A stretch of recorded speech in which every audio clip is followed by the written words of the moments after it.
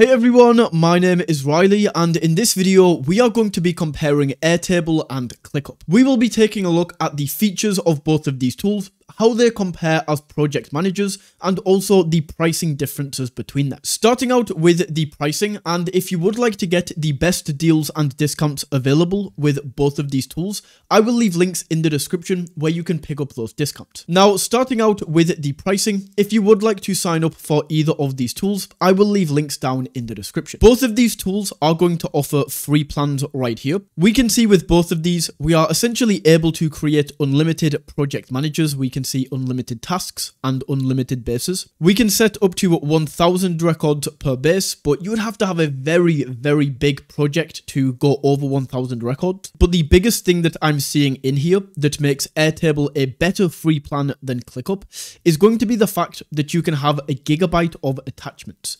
Whereas on ClickUp right here, we can only have 100 megabytes. Aside from the free plan though, Airtable is super, super expensive when we compare this to ClickUp.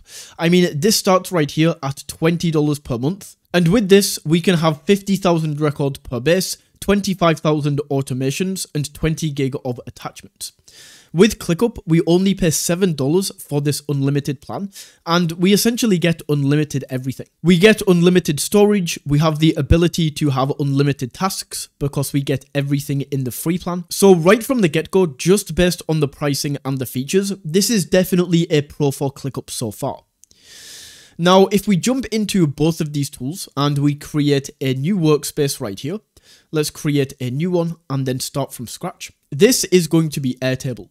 So we can essentially go in and let's say that this is a social media campaign. We can now go in and we can start creating the tasks for this. So one of the tasks in my project might be create profitable Facebook ads.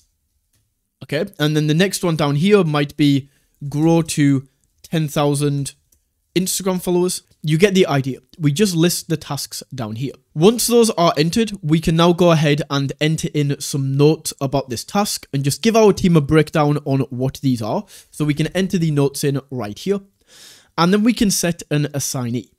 So we just go along. We would obviously add team members to our board and then they are all going to show up right here. So we can add the assignee we can go to the status right here and we can see if this is to do, if this is in progress or done. So let's say that this is to do. And then for this last field, I'm just going to delete this. What we can do is we can go in and we can choose from any of these other sections. So let's say as an example that we wanted to add a start and end date. We could add a date right here. We could call this start date, just like this. And then we could add another one and we want to go for date again we can call this end date and then create. And then in here, we can now go ahead and select these. Now, one downside to Airtable that I have found is the inability to add subtasks. So what subtasks are, is this is a pretty big project, right? Create profitable Facebook ads. Well, with subtasks, I can go in and give my team step-by-step -step instructions of what to do. Like write the ad copy, test the ad, carry this on, and just have this as checkboxes. With Airtable, we can't actually do this. The only thing we can add is a checkbox, but this is just check or uncheck to indicate status. We can't actually go in here and type anything. Whereas with ClickUp, if we go in and we create a new space, once again, we can just call this marketing campaign. We can enter this in. And then in here, we can click on create space. So we can start that up right there. And the user interface is very different in these two tools, but it works very similarly. So let me show you what I mean. So we would just go in and in here I can type like create profitable Facebook ads, uh, grow Instagram. So in here we have the exact same tasks. And then over on this right hand side, we can go in and add a lot of the same data. So as an example, we can click in and we can add an assignee to this task. We can choose the due date right here. So let's set this to the 18th. We can then choose the priority of this task and to open up and add anything else, we can add them right here. So we have a due date already. I'm just going to go ahead and add in another date. We can set this to start date and then add this in right here. And then we just move these around just like this. So we can start this today. We now have the start and end date. However, On ClickUp, this is what I was talking about with subtasks. Because if we actually click in and open this up, down here we can see we have subtasks. So I can go into my team and I can maybe say create 20 creatives, create 20 subject lines, uh, test, ads, pick, winner, scale, just like this, right? And then I can assign an individual person, I can assign the priority, the due date for each subtask, and then my team can come along here and we can check this off.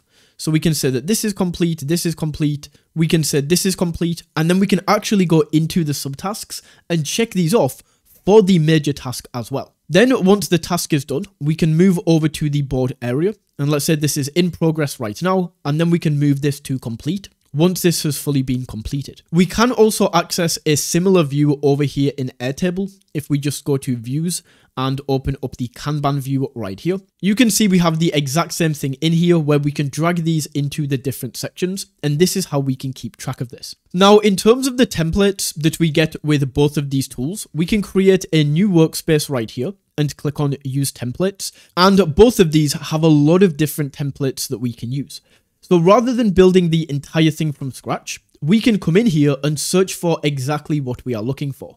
So if we type in like social media, we can see we have things like a content hub, non-profit pet rescue, start a social media marketing agency. We can close this down. We can maybe go for like finance, finance and management right here. And in Airtable, we can go over into the templates and apps, go to the full template library. And once again, let's search for like social media. And we can see we have a lot of templates here on Airtable that we are ready to use. The final thing that I will mention when comparing these tools is that ClickUp has a lot of features that Airtable doesn't have. So with Airtable, we can simply go in and do the project management aspect, just like we can on ClickUp. However, ClickUp has all of these options down here that Airtable doesn't have. So this is things like clips, and not all of these will be relevant to everybody. There are just some cool features that you might use, where this is essentially a screen recorder, so we can select the microphone, start recording, and then this is going to record my screen. So I can go here, I can maybe show clients what we are doing, and overall into their statistics, you get the idea. We can also go into timesheets and we could add a task in here. Let's say create profitable Facebook ads. And then my team can come along and they can start a timer. And this is going to track how long they are spending on each task. So let's say I wanted to put an hour in right now. I would just start, go about my work, and then I would just stop. And it's going to show how long I worked for. We also have this document section so once again, like this is not a groundbreaking tool. You can literally use Google Docs for free, but it's kind of nice to have this inside of the tool as well. So in here, we can just go ahead and maybe this is a, a marketing script.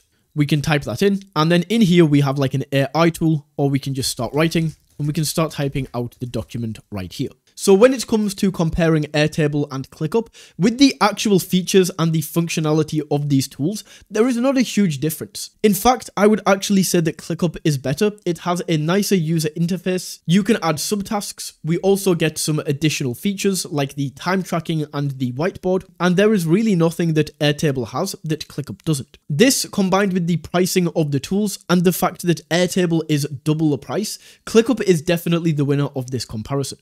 So that is my comparison of Airtable versus ClickUp. If you found this video valuable, don't forget to smash that like button and tap that subscribe button, and until next time, take it easy.